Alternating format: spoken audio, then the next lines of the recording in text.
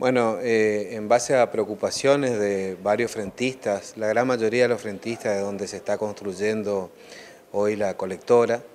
eh, que, va, que va desde la avenida 9 de Julio a la avenida San Martín,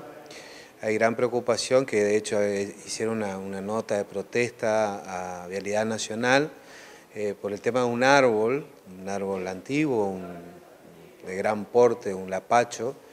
ellos se sienten muy preocupados y también se sienten perjudicados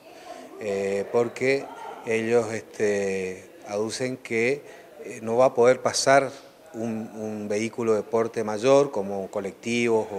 o, camiones, de hecho hay, hay este, gomerías, hay un taller en el lugar donde va, van a necesitar que, crucen tanto colectivos como camiones. Bueno, ellos están muy preocupados por esto, bueno, nosotros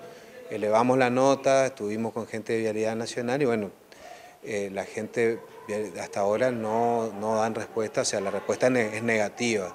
Eh, de hecho, bueno, vamos a seguir este, trabajando con esto, recordando a todos los frentistas y a toda la ciudadanía de que estamos hablando de un punto de partida de un terreno que es ajeno, no es ni siquiera del municipio y tampoco de los frentistas. Entonces estamos eh, en esa, en esa puja eh, para ver y de hacer las cosas de la mejor forma posible y de que la transitabilidad sea realmente accesible y que favorezca a todos los vecinos.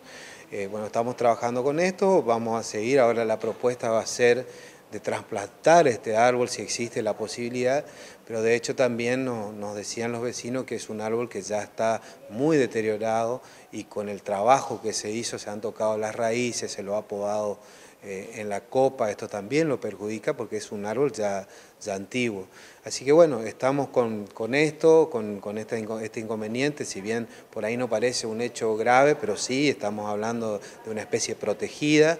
y, bueno, y, sobre todo de, hacer las, cosas como realmente eh, hay que hacerlas, ¿no? bien. Y por ahí te encontrás con este tipo de cuestiones que estamos hablando, vuelvo a repetir, de un, de un terreno ajeno, porque no es ni siquiera del municipio y tampoco los frentistas, y de un proyecto que es de vialidad nacional. Así que bueno, vamos a trabajar y siempre eh, pujando y haciendo y tratando de, hacer lo mejor posible y de lo mejor para todos los vecinos.